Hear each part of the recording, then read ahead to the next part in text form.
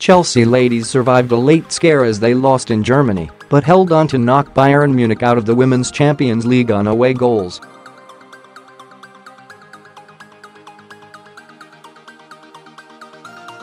Leading 1-0 from the first leg, England striker Fran Kirby's clinical finish on 60 minutes doubled Chelsea's advantage.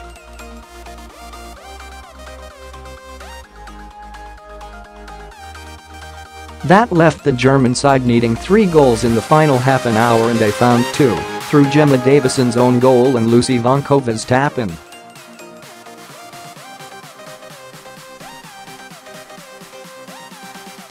But Chelsea survived a late rally to edge through and into the last 16.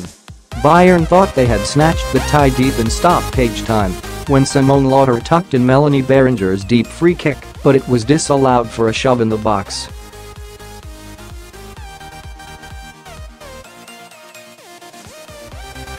Progression for Chelsea will go down as one of the finest results for a British women's side in Europe, overcoming one of the highest-rated teams in this year's competition.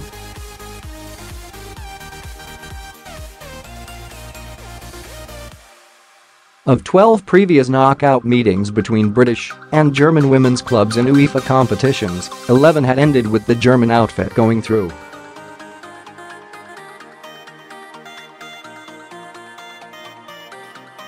And Emma Hayes is improving Chelsea, who are competing in Europe for a third consecutive season, had been eliminated by German opposition in Wolfsburg in each of the past two campaigns.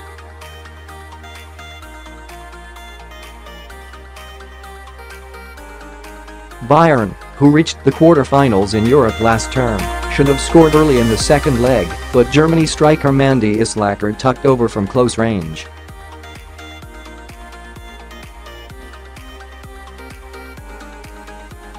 Chelsea then edged the remainder of the first half, but their away goal came against the run of play in the second when Kirby raced clear and drilled into the top corner.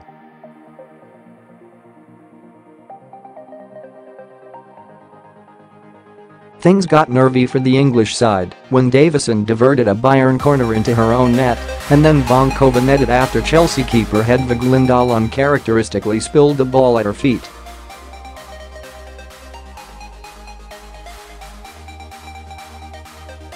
But the hosts were frustrated by crucial blocks from England defender Millie Bright and Laudehr's late disallowed goal, and there were tears from Bayern's players after the final whistle brought an end to an exhausting tie.